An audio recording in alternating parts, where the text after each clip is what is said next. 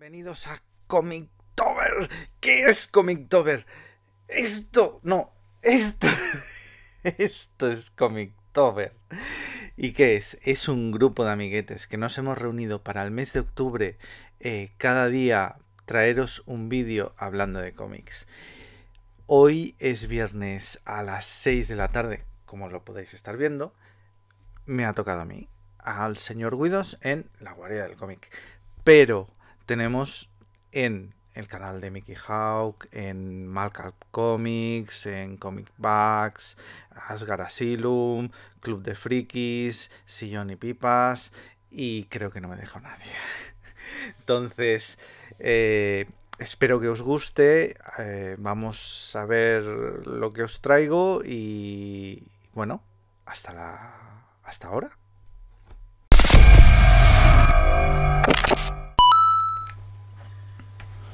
¿Está grabando ya? Sí.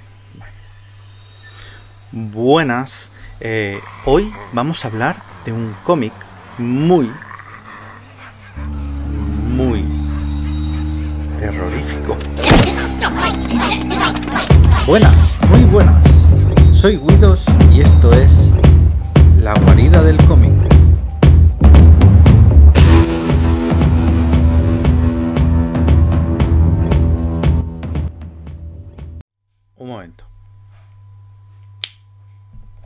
Bueno, ya está. Ya tenemos luz.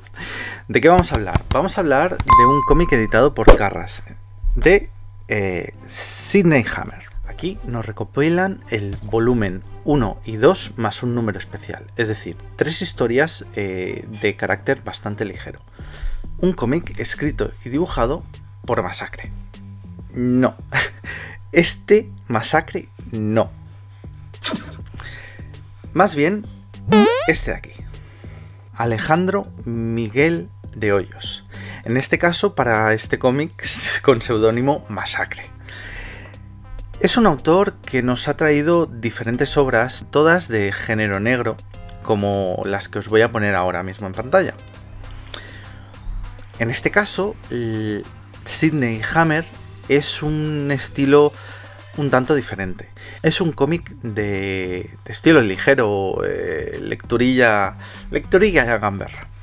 Una historia pulp de unas 120 páginas. Vamos a verlo un poquito más de cerca.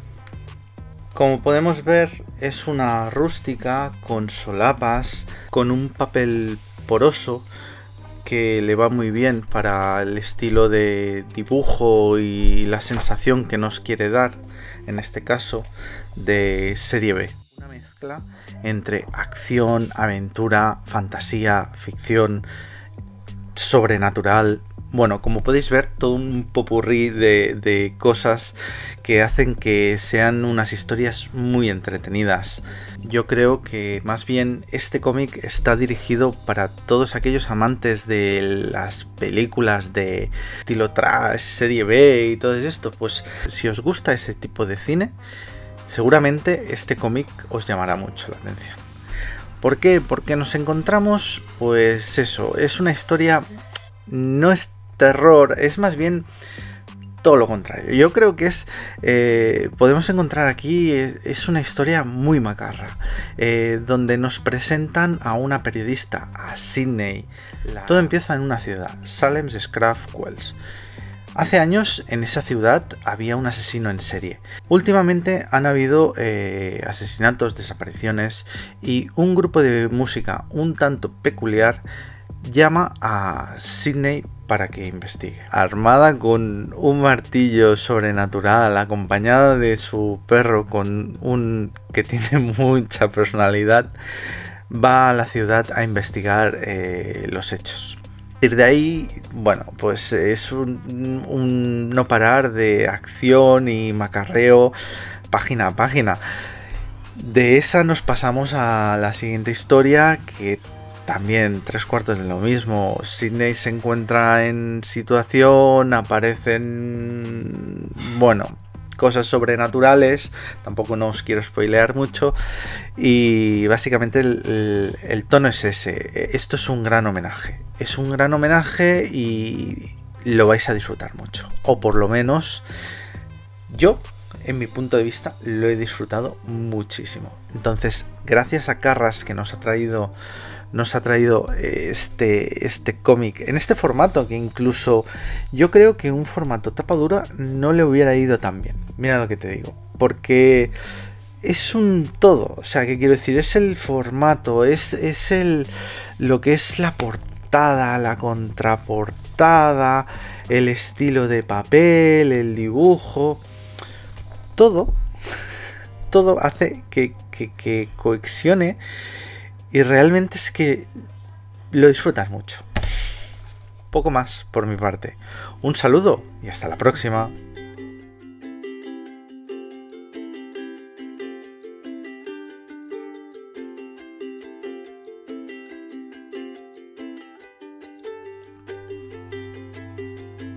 Mierda, me he ido por los cerros de Úbeda.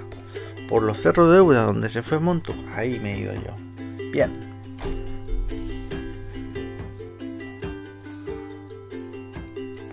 Suscríbete. Dale like, anda. Dale like.